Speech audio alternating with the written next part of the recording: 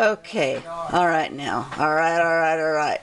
This is the computer I'm working on right now. It's an um, iMac Pro, and this is a iMac which my dad repaired and spruced it up and gave it to me.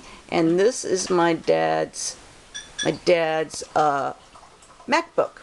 Okay, now that's my sad light, you know, to make me feel better. Ha ha. Anyway, and this is me. I'm so happy. so I have been working on the, these computers for five days now. I'm not about to kip, to give up. Unless I have to, then it's going to be Mac Store, here I come, or Apple Store, whatever you call it. Okay, thanks a lot. And oh, this is my TV. Excuse the mess, but Robert's here. Ha ha.